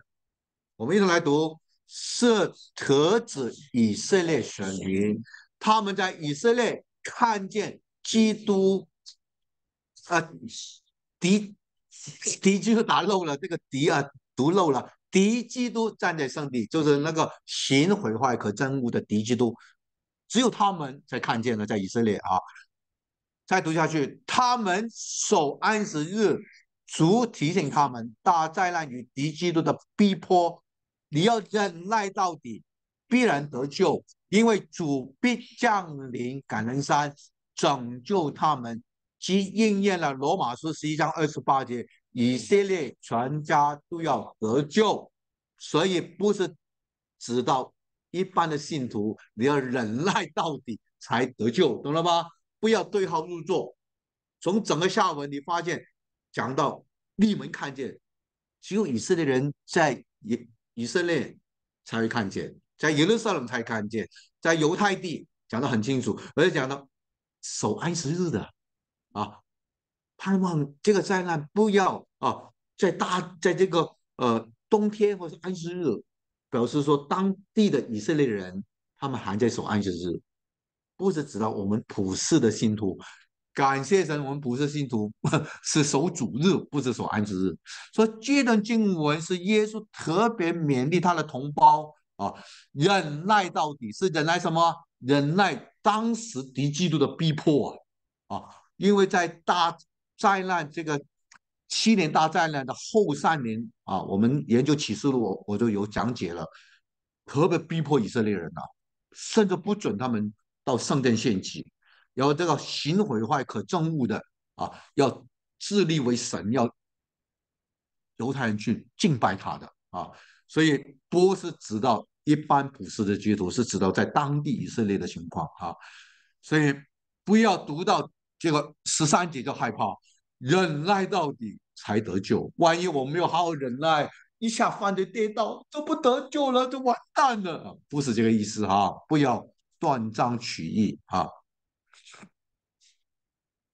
那么还有其他的经文，我们读到也会害怕。那么这几段经文呢，还记得吗？在第一堂课我有处理过，我就一轻轻带过就好了啊。我们还是读一下啊，就很快把它带过。腓立比书第二章，走当恐惧战惊，做成你们得救的功夫。哇，我没有恐惧战惊，就没有做成得救的功夫了。这是何本犯错的啊？因为在原文啊，不是 work for，你回去查课好原文。这个 NIV 就翻得很好，是 work out 啊，要做出你得救的功夫，是把得救丰盛的生命 work out，去 work out 锻炼 work out，把努力锻炼出来啊，真的要我们得生命得了更丰盛，不是 work for work for 的话，就是你要做成你得救的功夫，你要好好恐惧战惊啊，小心啊，不要跌倒啊，不要犯罪啊，否则你的救恩就做不成了，你就不得救了，又是高举行为得救。错误的捷径啊！我们也处理过起诉的第二章十一节啊，讲到得胜的必不受第二次死的害。万一我不得胜，我就要面对第二次的死，就是下地狱的死啊。那么你要做得胜者，要讲什么行为啊？对不对？那这个又跟一心称义矛盾啊？记得吗？我们第一堂课已经讲过，幸好在原文有这个“害”这个字。我们这个课本放的不准确、不清楚。其实，在“害”这个字在原文是 “adical”，就是如同一个 criminal，一个罪犯面对审判。所以，其实耶稣的意思是说，你做一个得胜者，当耶稣再来的时候已经被提了，你不需要等到白色大宝座面对这个白色大宝座第二次死的那个审判，因为我们已经被提了。或者说，你假如已经睡了，就复活被提，不需要等到白色大宝座那个时候，跟不信的人一同复活。那些仅仅得救、犯罪跌倒的，需要在那个时候再复活。还记得吗？我讲到有两个书卷，一个生命册，一个书卷。所以那些仅仅得救的基督，在那个时候才复活。但是在这里应许得胜的，不需要面对。第二去死的那个审判，因为你已经复活了。同样的，其实第三章得胜的必这样穿白衣，我也必不从生命册上涂抹他的名。啊，有些人又害怕了，我不得胜，耶稣就在生命册把这样的名字涂抹了。糟糕，我就不得救了。那把王伟成的名字涂抹了，不得救了，完蛋了。不是这个意思。回去参考诗篇六十九篇二十八节，讲了生命册，我都不花时间讲了。在这个经文里面提到，生命册里面有艺人的名录、艺人的名字，所以其实耶稣是说明在生命册里面有两个记录：得救的得救栏有名字，也有一个艺人的名录在这个生命册上的，在艺人栏得胜栏里面，就像我们在台湾有户口名。呃，户口的名簿嘛，对不对？你跟谁结婚啊？或者你有时说什么对国家的丰功伟业会写进去的啊啊！你是个伟大的科学家，为国家有什么贡献会写进去的。在犹太人的生命册里面也有这样的一个记录。这个是个艺人，他们就写在这个生命册的艺人栏里面有记录。这个是个艺人啊，所以耶稣在这里所讲。那些没有得胜的，他们的名字会被从得胜栏里面被涂抹。得胜的，我必不从生命册上那个一元栏、得胜栏里面涂抹他们的名字，因为将来耶稣再来的时候，在空中会有呼叫的声音，就好像启示录第四章，老约翰听到。叫他的名字的声音，他都上去了。所以将来天使会呼喊：“Anna、Jeff、陈雷、You know，徐姐妹。”一听到那个声音，其实天使怎么知道那个名字呢？在生命车的一人栏、得胜栏里面有记录的。啊，会呼喊我们的名字，我们就背题了。所以得胜的，我并不从生命册的一人栏、得胜栏里面。涂抹他的名字，看看那个挂号，不，我们一同读，不从生命册得胜一人栏涂抹他作为得胜者的记录而得享被提，是这个意思。啊，而不是说不得胜就不得救，啊，那右边的告诉行为的，但是我们真的得救是白白的，也是永远是天父的儿女。假如你不好好追求成圣，做得胜者，我们得不到神荣耀的赏赐，包括地上的赏赐、祝福。未来天上的赏赐，被提成为羔羊的心腹，与基督一同作王，新天新地这个荣耀的耶路撒冷都无份。仅仅得救的基督徒到白色大宝座审判的时候，他们不致灭亡，因为名字在生命册上，但是他们不能享受新耶路撒冷那个荣耀、跟权柄、跟作王，只能够仅仅在新的地球里面得永生。啊，所以这个一定要分清楚啊，否则又变得高举行为才得救了啊。所以那个 borderline 要非常小心。我们相信得救永远是天赋的儿女，但是假如你不好好的做忠心的仆人，好好的追求成圣，追求做得胜者，你不能够享受被提的恩典。做心腹的恩典，做王的恩典，而且要面对白色的大宝座的审判。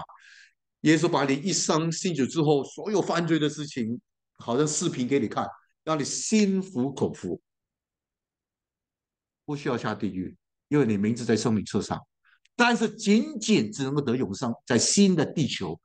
千万不要以为地球被烈火焚烧变成乌有，不是万物劳苦叹息，都在等候得赎的日子。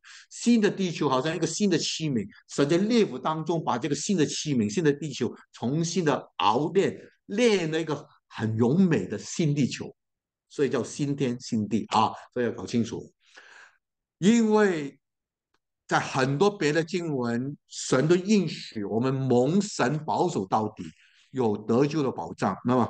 很多的经文哈，我们只读一个就够了。约约翰福第六章，一同来。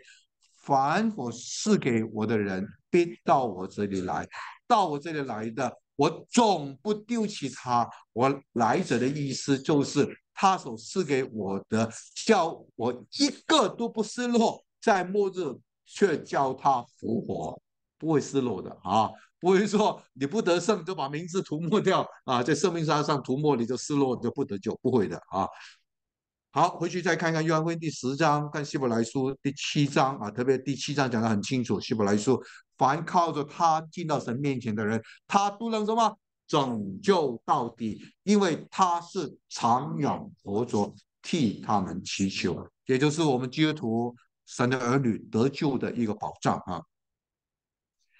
好，再看另外一个问题啊，我们就快快来处理一下。我们来读这个问题，《马太福音》第七章二十一节到二十三节，那些奉主的名传道赶鬼的人是基督徒吗？他们得救吗？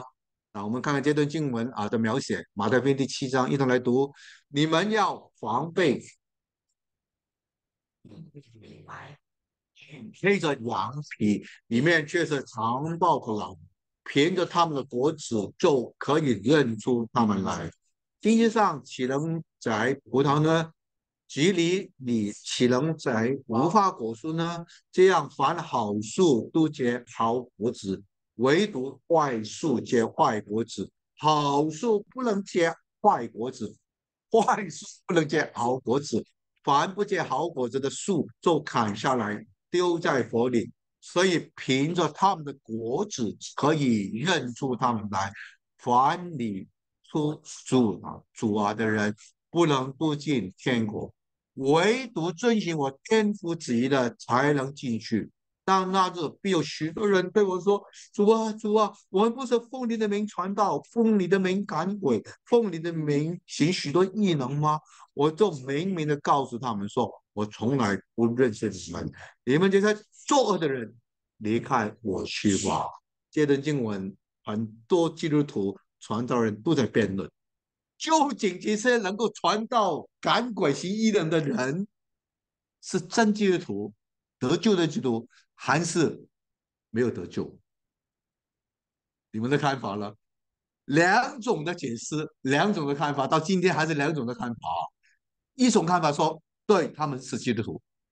啊，那假设基督徒，怎么耶稣会说我不认识你们呢？啊，怎么说啊不能进天国呢？啊，第二种的看法说不是基督徒，是前文所讲的假先知，两种的说法解释啊，所以你们去研判啊，我比较接受第二种说法。但是第一种说法是我以前一直所接受的，为什么呢？因为第一种说法呢是以前我的老师林道炼院长的看法，但他的解释也是蛮有道理的。你看看他的解释啊，我们一同来读啊。他们奉主的名传道、赶鬼、行异能，理应是基督徒，只是他们传道的目的不纯正。不是遵循天父的旨意，乃是如同假先知，为了自己的私利私欲而传道做工，建立自己的小王国。雇主责备他们：“我从来不认识你们。”注意啊，认识这个是原文是亲密的关系哈，没有亲密的认识的关系，你们不能进国度做王。被提，如同马太福音二十四章五十一节的恶仆被撇下。在大灾难里哀哭切齿，也是领导人员长的解释，也是蛮有道理的，对不对？所以我一直都接受这个解释。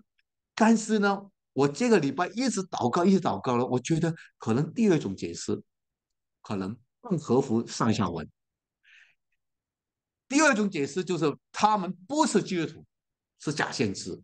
我们来看一看下面的说明啊，我自己特别写的，一同来。主的大前提是说明如何防备与分辨假先知，是从果子认出树来。若不是遵循天父旨意，有生命的果子，并与主有亲密认识的关系，而只有外在的表现，传道赶鬼行异能，必是坏树，是假先知，不是生命的基督徒。我经过了这个礼拜的思想。我比较接受第二种的看法，因为的确你发现整个大前提，耶稣一直讲这个从果子认出树来。然后他大前提前面十五节开宗明义提到什么？你们要防备什么？假先知，假先知就不是基督徒哦，没有不是真正的基督徒啊，这表面的基督徒啊是假的先知，没有真正的生命的，他们是坏树，他们不结出生命的果子。所以，我经过一个礼拜祷告思想，从前提来观察呢，我觉得更有可能，耶稣是提醒我们要分辨啊。的确，在教会里面有假的基督徒，有假的先知，甚至有假的传道人、牧师为利传道的，真的有啊。所以，耶稣是叫我们去防避这个事情，从果子认出出来。所以呢，我现在我的立场比较接受 B。的看法，大家，假如你觉得 A 的看法，我觉得也是我过去蛮接受的。但是我从上文的解经呢，我更花时间去研究这段经文呢，我觉得不是基督徒是假先知的可能性很高啊！你们回去好好祷告，想想看啊啊！嗯，我们已经没有时间了，因为下面还有希伯来文。Number four。认识圣经修辞学，解开经文的争议啊，然后我就看看，我一口气把这个重点说明一下啊。其中一种修辞法呢，叫做转喻 （metonymy），就是以其相关的事物喻其本物啊。譬如说，相关的事物是龟跟杖，就预表是王嘛啊。譬如说，创世四十九章龟。必不离犹大，仗必不离两小之间，只等到西罗。其实西罗来到就是是平安，弥赛亚来到。这个归跟杖其实是转喻，它的本体是要表达什么？弥赛亚王，因为王杖王那个龟是王权所持有的啊，所以从这个杖就连到。他的本体就是王，其实他是要说明王。以赛亚书二十二章啊，讲到必将大卫的钥匙放在他的肩头上，不是真的把一个钥匙放给他。这个钥匙常常在以前是指到权柄，把握钥匙的人就是有权柄的人，把这个国度的权柄放在大卫啊的肩头上啊。利未记刀剑。你们躺卧无人惊吓，刀剑也不也必不经过你们的地，不是真的那个刀跟剑啊，刀剑是转喻，表达是什么？战争，战争不会领导你们。假如你单单读字面，刀剑要死，仗读不出味道来的。圣经是用转喻法啊，以其相关的事物预表它的本物本身，包括使徒行传第二章啊，They all speaking in other tongues。这个 tongues” 不是真的舌头啊，这个 tongue 是指到什么？方言别国的话，这个才是本体啊啊，不是指到说舌音啊。有些极端灵恩派就弄这段经文，就说你看方言就是舌音。啊，这个真耶稣教会，呃，好像对他们就这种高举舌音的啊。加拉太书讲到隔离的人，你要知道隔离的人其实指的什么？犹太人啊啊，所以我们在前面几堂课还记得马太福音第八章讲到耶稣代替我们的软弱，担当我们的疾病，哈，然后在在马太福音十。第八章是引用以赛亚书五十三章第四节，担当我们的病患，背负我们的痛苦。我上次讲过，不是真的把病背在耶稣的身上，这个病的转喻是把那个本体，本体是什么？是罪。耶稣背负我们的罪，懂了吧？因为罪是本体带来疾病，所以还记得吗？我们上次解释其实是一本，是把那个。转喻的真意翻出来了，你看看，He bears our sins，你看到吗？其实一本把那个转喻的含义翻出来了啊。原文病患是用转语法写的啊，所以其实一本把本意的意义最翻出来啊。所以我上次我就说啊，这个病患为什么其实一本这个 Septuagint 放的 sin 是有这个修辞法的。背后的原因的啊，好，所以我们都一口气啊，就把这些重点讲完，所以得到一个重点，神的话语啊，博大精深，读不懂的或是搞不清楚的，不要太快下定论啊啊，好好去学习求问。啊，我到今天我还是不断的祷告求问，有时候经文真的很难解的，包括这段经文也是我上两个礼拜在备课的时候，神把这个的亮光，我去查考一些原文的资料，Satoshi 的资料，其实日本的资料，啊，才发现原来在马太福音第八章是用了一个转语法，难怪其实日本把它翻作 He bears our sins，没有翻作 He bears our infirmities，啊啊，这个病痛病患。啊，OK，好，那我们就呃啊停在这边啊。那么我们真的带着个感恩的心啊，我们一同做一个感谢结束的祷告。天父，我们何等的感恩！你把你的圣言、圣经赐给我们，好让我们真的认识你，更知道如何来侍奉你，如何来生活，如何来传福音，如何做见证。